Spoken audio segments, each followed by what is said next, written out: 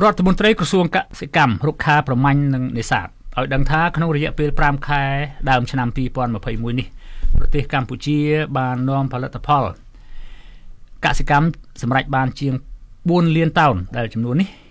ច្រើនជាងឆ្នាំ2020ចំនួនជាង1លានតោនក្រសួងកសិកម្មរុក្ខាប្រមាញ់និងនេសាទបានផ្សព្វផ្សាយក្នុងបណ្ដាញសង្គមរបស់ខ្លួនកាលពីពេលថ្មីៗនេះថាផលិតផលសំខាន់ៗមួយចំនួន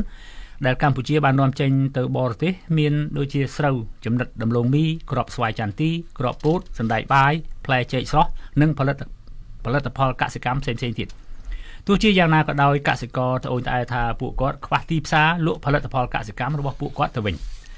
អំឡុងពេលរដូវប្រមូលផលផ្លែស្វាយកន្លងមកនេះកសិករជាអ្នកដាំស្វាយបានយកផ្លែស្វាយរបស់ខ្លួនដែលប្រមូលបានទៅចាក់ចោលដោយសារតែពុំមានទីផ្សារ ហើយពួកគាត់បានរងការខាតបង់លើការបោះទុនវិនិយោគដំណាំ